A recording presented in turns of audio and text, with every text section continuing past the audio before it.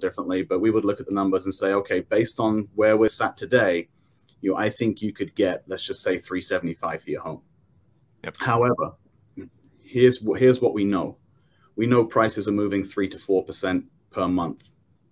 And we also know that it's going to take us a week to 10 days to get the home staged, get the photographs done, get them back, get it into the MLS. So now we're 10 days further forward.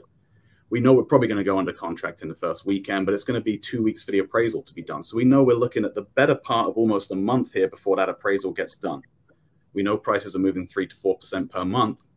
So I don't want you to leave 4% on the table by the time that appraisal rolls around. So yes, we're 375 today, but 30 days from now, we're looking at X number.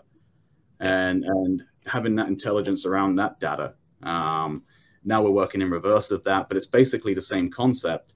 Um, and, and, like you said, the, the, the, agent that's going in there and taking it at 400 when it's worth 350 is is really doing kind of everybody a disservice.